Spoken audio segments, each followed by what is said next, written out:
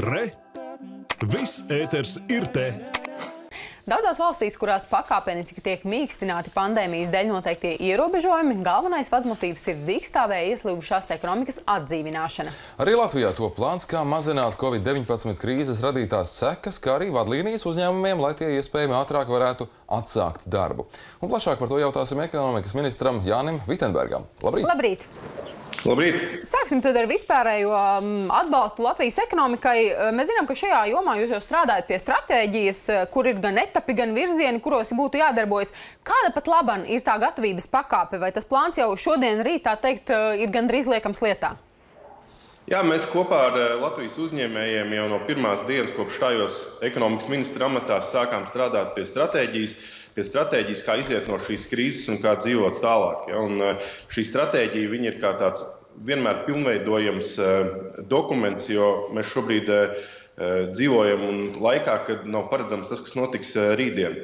Un šobrīd jau stratēģija, pirmais šis posms, kur svarīga loma ir stabilizācijai, ir, ir gatavs un esam iesniegt, gatavi iesniegt ministra kabinetā vērtēšanai tālāk jau mūsu koalīcijas partneriem. Bet tā doma, ko esam eh, secinājuši kopā ar uzņēmējiem, ka pamata eh, lieta, pie kā ir jāstrādā, tā ir eksporta veicināšana un mūsu ražošanas eh, pievienotās vērtības paaugstināšana. Jo skaidrs, ka šobrīd ir kritis eksports un investīcija piesaista Latvijai, un to nevar kompensēt ar vietējo patēriņu. Nu, mēs nedzersim pienu trīsreiz vairāk vai neēdīsim maizi trīsreiz vairāk. Ir jāveido jāpalīdz šiem uzņēmumiem attīstīties un eksportēt ar tādu augstāko pievienoto vērtību. Nekā. Eksporta veicināšana tomēr ir, protams, tas ir jau šodienas sākams jautājums, bet tomēr lielā mērā saistīts ar rītdienu. Kāds tad rīt būs tas eksports? Bet jūs sakāt, ka lielā mērā nav paredzams, kāds, kas būs rīt. Tas nozīmē, ka pat labāk tiek strādāts pie šīs stabilizācijas posma, bet kā tad ar nākamajiem pārorientācijas vai izaugsmes etapiem? Tad tie pagaidām ir vēl nu, tādi mainīgi lielumi Kā pie tiem strādāt, tas kļūs zināms tuvākajā laikā, vai kā tad ar tālākiem? Šobrīd eh, šim eksportam un pievienotās vērtības produktu ražošanai tas ir virsmērķis. Mums uz to ir jātiecas. Un, eh, Bet ļoti svarīgi, lai nezaudētu tik daudz Latvijas iedzīvotāju šobrīd, un tās aktivitātes, ko mēs veicam, tās ir ar mērķi, lai cilvēkiem būtu uz vietas šobrīd. Tiem, kas ir zaudējuši darbu, strādāt, tad līdz ar to arī esam kopā ar Labklājības ministriju un Izglītības ministriju sākuši darbu nodarbinātības padomē, kur mērķis ir eh, veicināt un paaugstināt šo Eh, bezdarbnieki, kas šobrīd ir nokļuvuši bez darba, kas ir mazkvalificēti cilvēki, paaugstināt viņu vērtību darba tirgu, lai viņi spētu atgriezties pēc tam jau pavisam citā kvalitātē, tieši šajās eh, profesijās, kur tas ir visvairāk nepieciešams. Mhm. Kā un kas tad īsti nu, nodrošinās to pāreju no plāna pie tā iedzīvināšanas? Iespējams, nu, šis ir viens labs piemērs, ko jūs jau minējāt, tas arī, bet lai tas patiešām darbotos, kam vēl jāizpildās, kas būs tie tālākie soļi? Mēs esam sagatavojuši, tas, ka no mūsu stratēģijas izriet pieci šie posmi. Pirmais un ļoti svarīgs ir šis cilvēku kapitāls, otrs ir eksporta tirgus atrašana un palīdzēt šiem uzņēmumiem eh, nonākt pie jauniem sadarbības partneriem. Tur būs ļoti liela nozīme LIA. Ja, tā, tas ir svarīgi, svarīgi arī šī investīcija pietiekamība, jo šajā krīzes laikā tie ir eh, apgrozāmie līdzekļi, taču pēc tam tie būs nepieciešami līdzekļi izaugsmē vai pārstruktūrizēšanai. Ja. Tās ir tādi bloki, kas būs svarīgi nākotnē, un tie uzņēmumi, kas jau šobrīd novērtē cilvēku eh, savu darbinieku potenciālu un to nosargāšanu, šobrīd ir arī ieguvēji. Un arī nākotnē tā darbinieku loma pieaugs ar vien vairāk. Un, ja atceramies no iepriekšējām krīzēm, vienmēr ir runāts par to, ka IT joma būs nākotne, taču reāli eh, darbi izglītībā vai, vai cilvēku pārkvalifikācijā nav notikuši. Tādēļ esam radījuši tādu kompleksu risinājumu, kur iesaistīts trīs ministrijas un bijis tāds ilgstošs un vērtīgs darbs. Un arī šo eh, dokumentu, kur ir pakete eh, 200 miljonu vērtībā šie darbi, ja, bet tas ir sākot no šīs stabilizēšanas laika, kur Labklājības ministrija strādās pie šīs sociālā aspekta, lai cilvēkiem palīdzētu atrast darbus, lai nodrošinātu iztiks līdzekļus. Tad ekonomikas ministrija kopā ar uzņēmējiem nāks ar šīm nozarēm, kurās tad ir, eh, būs nepieciešami pēc mūsu vīzijas eh, šie darbinieki un tālāk jau izglītības ministrija ar tādu kvalitīvu un uzlabotu šo pieaugušo izglītības eh, saturu, kā arī šīm IT programmām nodrošinās šo aspektu.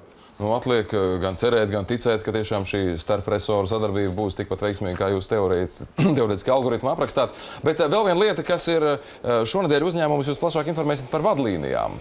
Kā tad jārīkojas lai varētu atsākt darbu pēc iespējas ātrāk. Es saprotu, ka tie būs dažādām nozarēm dažādi, sākot no uh, birojiem līdz transportam un uh, no turisma līdz, līdz, uh, līdz attiecīgi citām jomām. Kam ir gatavs jau pat labam šīs vadlīniju kopums, vai arī tas tiek izstrādāts pakāpeniski un līdz ar to pakāpeniski arī nonāks vadlīnijas līdz atsevišķām nozarēm un uzņēmumiem? Uzņēmēji šobrīd ir eh, tie, kurus visvairāk uztrauc eh, tā dzīve Covid laikā un pēc tam, jo tādi lieli ražojoši uzņēmumi, riskējot, ja saslimst viens no darbiniekiem, var apturēt savu darbību pavisam. Jo, līdz ar to viņi ir nākuši un bieži vien paši jautājuši un izrādījuši iniciatīvu, kā mums dzīvot tālāk. Tādēļ esam radījuši šīs eh, vadlīnijas dažādām nozarēm, taču darbs pie viņām turpinās kopā ar Veselības ministriju un SPKC, lai mēs būtu šīs vadlīnijas sagatavojuši pilnīgi visai, visām nozarēm visam laukam. Nu, tie nav ne tikai ēdināšana, kas ir bijuši līdz šim ar šīm eh, vai, vai veikali, tirdzniecība, kur bija konkrēti aprakstīta šī, šī darba kārtība, kādai tai vajadzētu būt krīzes laikā, taču turpinam arī ar eh, rūpnīcām un, un citām svarīgām lietām. Tad cik eh, gatavs tas ir? Tad šo nedēļu jau ir zināms kaut kāds laiks, ka tas varētu tikt pilnībā saskaņots ar SPKC un Veselības ministriju līdz galam, vai tas vēl prasīs kādu laiku attiecīgi? Pamatprofesijas pamat un nozars jau ir saskaņots, taču skatīsimies, kur vēl nepieciešams pielikt roku, lai būtu pilnīga skaidrība. Turisms arī attiecīgi tā skaitā. Es saprotu, ka tur tas varētu būt uh, īpaši interesants jautājums, jo Baltijas valstu telpas atvēršana vismaz tā teorētiski paredz turismu plūsmas atjaunošanos tuvākajā areālā. Jā, turisms ir viena no šīm nozarēm, pie kuras mēs strādājam. Viņi ir pietiekami daudzšķaitnēji. Ir gan ēdināšana, gan nakšņošana, un katra no šīm teiktu, apakš, apakšstruktūrām ir ar savu specifisku vajadzību. Mhm. Vēl par vienu citu veidu atbalstu turismu nozarei. Rīt runāsies saimnes ārkārtas sēde, kur uh, izsludināts uh, tika pārtraukums, vēl nenolemjot par 5% PVN likmes noteikšanu turismu nozarei. Uh, tas bija jūsu rož, rosinājums arī, nu, tāpat kā opozīcija bija to iepriekš rosinājusi. Par ko deputātiem, vai var teikt, ka tur bija kaut kādas domstarpības vai kaut kas vēl netika paspēts līdz galam izdiskutēt?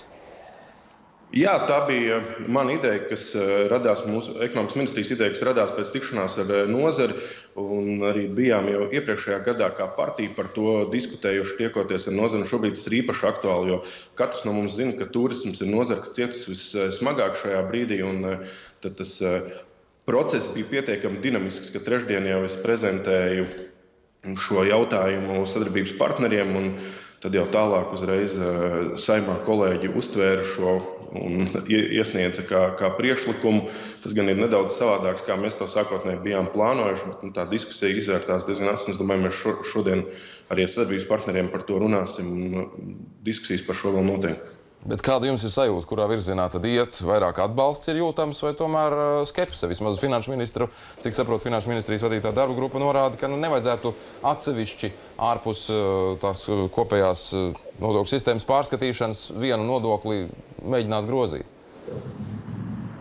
Jā, es to teicu iepriekš, kad esmu par nozari atbildīgs ministrs, un es no šī jautājuma neatkāpšos un turpināšu uz to iet. Un, uh, Es uzskatu, ka šis nav uh, klasisks nodokļu politikas jautājums, bet šis ir krīzes instruments konkrētai nozarei. Tas mums ir uh, jāņem vērā, un šai nozarei šobrīd ir jāpalīdz. Nu, un visbeidzot, viens jautājums, kas attiecas arī gan uz ekonomikas sildīšanu, gan uz personiskās aizsardzības līdzekļu uh, ieguvi. Šeit pat iespēja tos ražot. Šeit pat Latvijā ir runa par higieniskajām sejas maskām, piedāvājot vienotu tehnisko specifikāciju un arī veicot valsts pasūtījumu, ja nemaldos par 400 tūkstošiem. Sākotnēji gabalu bija runa, Kā ir ar šīs iespējas izmantošanu? Cik tālu tad šeit līdz praktiskajam solim, kad mēs varēsim nevis uh, veikt pārrobežu iepirkumus, bet šeit pat uz vietas saņemt maskas? Nu, tam ir jābūt mūsu pamatmērķim, kad visas šīs eh, individuālās aizsardzības līdzekļus, kas ir nepieciešami, ka mēs pērkam šeit uz vietas, lai sildītu vietējo ekonomiku. Un, Jau, jau notiek ilgstošs darbs ar vietējiem uzņēmumiem, un ir bijušas neskaitāmas tikšanās, lai saprastu, kur būtu gatavi ražot. Un tad par šīm higieniskajām maskām tā interese bija ļoti liela. Eh, vairāk kā 30 uzņēmēji jau līdz šim eh, ražo, ražo maskas un veidojām kopā ar RTU speciālistiem vienotu specifikāciju. Un, Pēc tās šobrīd 12 uzņēmēji ir gatavi sākt šo ražošanu. Tad mums ir jānoformulē ceturtdien eh, nolemtais par šo kopīgo iepirkumu 400 tūkstošu vērtībā. Mēs nedrīkstam vilcināties, tad eh, tuvākajās nedēļās jau ir eh, tām maskām. Es gribētu teikt, ka jābūt jau iepirktām, lai tas būtu tāds labs žests arī vietējiem uzņēmējiem un ka viņi spētu es domāju, diezgan ātri pielāgoties. Un tad nākamais solis ir par šīm ķirurģiskajām maskām, kur nepieciešams certifikāts. Arī tur uzņēmēji ir pauduši gatavību sākt ražot, taču mēs gaidām atbildes no dažādām laboratorijām Eiropā, kas šobrīd tās testē.